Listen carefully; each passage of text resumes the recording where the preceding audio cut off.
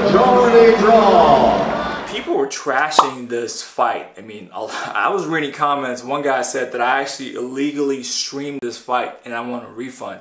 All right. Let me tell you, the people that are trashing this fight, they they don't know anything about fighting. All right. These guys are amateur fighters. They're not professionals out here. They're professional YouTubers. They do vlogs and, and, and gaming or whatever the hell they do. But they're not professional fighters. They've only been training boxing for a few months, right? I know the KSI, he had a, a previous boxing match with another YouTuber, but that's not really much of an experience, all right?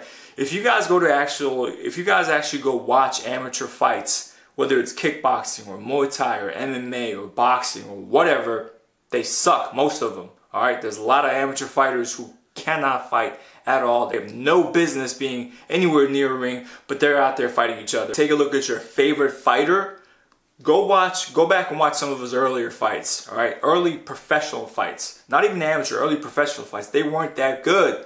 So the fact that people are trashing these two I don't get it. I mean, these people honestly have no idea what it's. They've, they've never been to an amateur show and watched amateur fights. This is usually how it goes.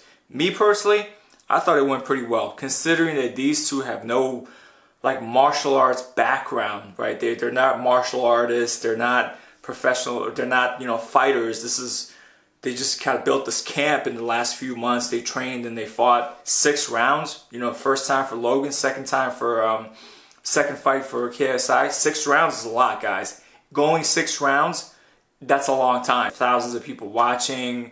I don't know how many people watching online. I don't know how many illegally watched it, but that's a lot of that's a lot of pressure, you know, on, on an amateur fighter. Usually, guys that get this kind of viewership, this this kind of buzz, they've started their amateur career. They go through the, the ranks and they make it to the big league. And They're kind of experienced, right? They, they went to the gauntlet they, they have experience to deal with this kind of pressure. These two have dealt with pressure and fame and money, but in a different world on YouTube. But now, but they're in the ring, they're exposed and they're fighting. So I thought the fight was actually pretty good. I don't know why people are trashing it. I think if you're trashing it, you should probably get out there and try to spar and see how it is. It's hard, guys. So for an amateur fighter, a guy with no experience and a guy with some experience.